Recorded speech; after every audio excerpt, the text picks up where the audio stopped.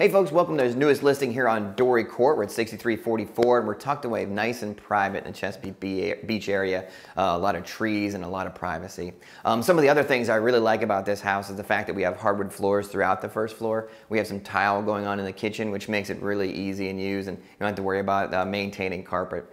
Um, there's a lot of uh, recently updated projects. We have a brand new roof, we have a brand new HVAC, and we have a team coming through and doing some painting and cleaning and doing some touch-up work. Um, you're gonna see that there's still a few cosmetic things you have to take care of, so this is kind of a handyman type situation, and we have an unfinished basement, so it's a great opportunity to build some equity, get down there and finish the room and finish some things. But uh, the big ticket items, the roof and the HVAC are already done for you, so let's take a look around and see some of the great qualities about this house.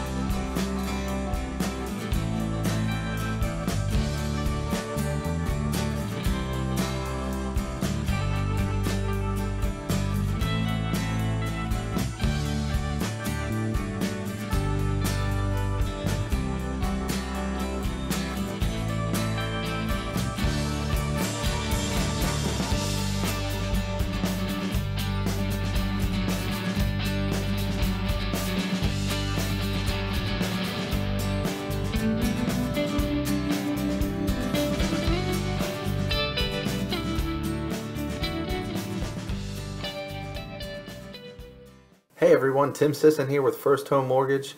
Uh, here to speak about 6344 Dory Court and your financing options for that particular property.